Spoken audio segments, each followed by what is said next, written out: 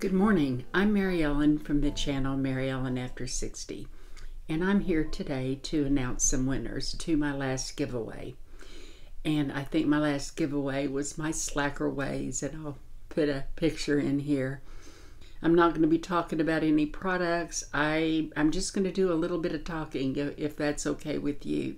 Um, as you can tell when I showed you that thumbnail, my thumbnails, that's what you see when you get on YouTube and they've changed the way that you make them. So I'm having a lot of trouble, but I'm working on it.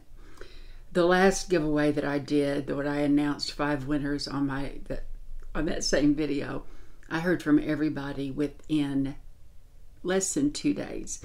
So everybody has their gifts, and I'm I'm so glad that you watch.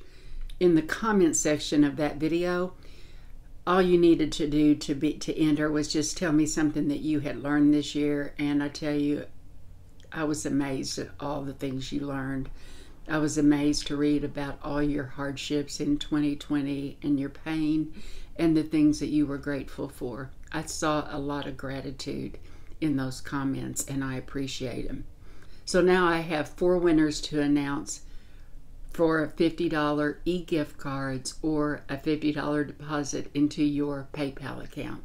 The first name that came up is M's mom. Congratulations, M's mom. The next name that came popped up was Hope to Know You 95. Congratulations, Darlene.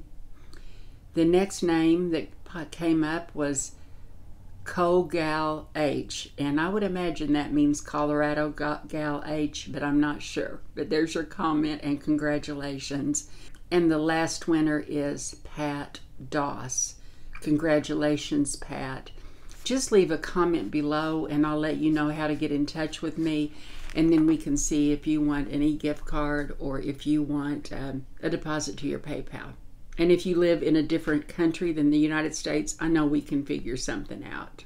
I wasn't going to film a video, I was just going to announce the winners, but I just wanted to share something with you.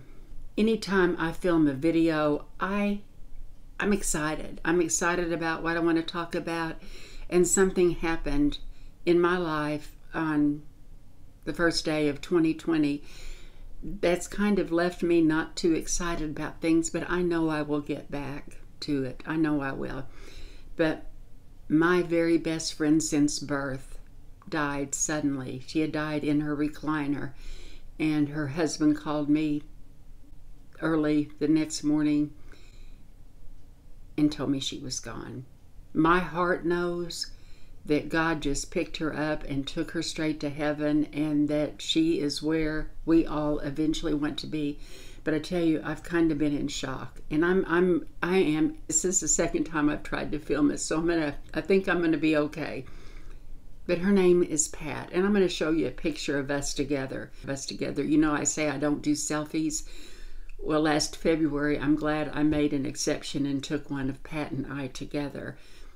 Our mothers were best friends when they were pregnant with us. We literally grew up our whole 18 years that we lived at home within a stone's throw from each other. My mother would be on her front porch, and Pat's mom would be on her front porch, and they'd let us cross. There were two streets you had to cross, but the way our city blocks are, I mean, we could see each other's porch easily we have remained friends, close friends throughout our lives. We got married within a month of each other.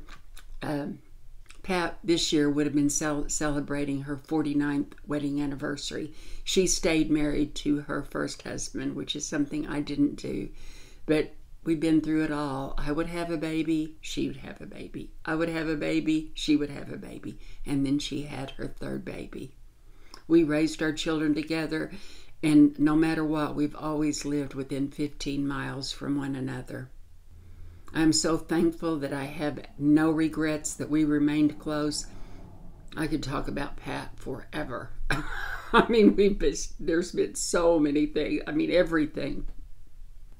But it really has hit me hard. So I'll be watching the people that I normally watch. I don't know when I will upload again, but I will upload again. There were several things I was planning on filming. I had a video all ready to film just no way. I, my heart is not in it, but it will be.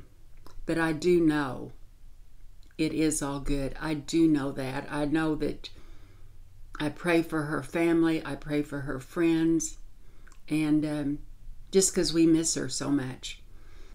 Appreciate you watching, and I'll be back. And um, don't know if I'll reply to comments. I don't know. It just depends. But I just need a little time. And uh, I will see you in my next video. Take care.